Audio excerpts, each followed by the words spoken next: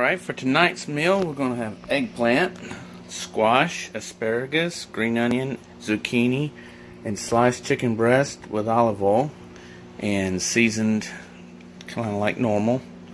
So this ought to be good. Okay, so we added chicken powder, slap your mama, lemon pepper, orange pepper, paprika, Creoles, Tonys, and Emeril's. And Miss Ann. Kiwi. Kiwi. Oh, and a little bit of water to go with it.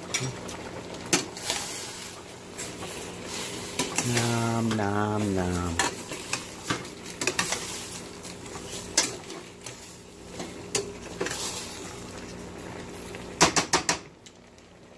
Yeah, I like that. I forgot to add the black pepper, I mean, I added it, but I'm talking about the last, what I said, and the garlic about a spoon of each.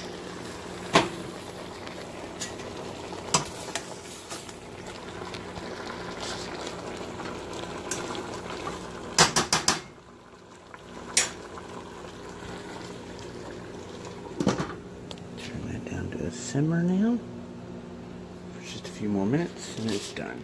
Oh yeah, I think that's good stuff. You want taste test?